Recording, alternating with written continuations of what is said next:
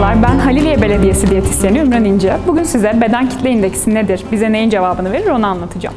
Beden kitle indeksi bize aslında boyunuza göre kilonuz normal mi sorusunun cevabını verir ve bir formülü vardır. E, kilo bölü boy çarpı boy şeklinde hesaplarsanız beden kitle indeksinize ulaşırsınız.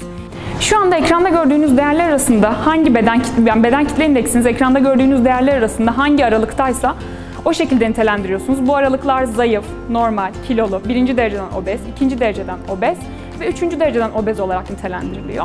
Biz beden kitle indeksini tek başına değerlendirmiyoruz. Yanında e, yağ oranınız, kas oranınız, bel ölçümünüz, kalça ölçümünüz, üst orta kol ölçümünüz, e, kemik ağırlığınız gibi e, diğer bütün şeylere de bakıp, ölçümlerinize de bakıp ona göre size uygun bir diyet listesi hazırlıyoruz ve bu doğrultuda sizi ideal kilonuza, ideal kilonuza indirmeyi ya da çıkarmayı hedefliyoruz.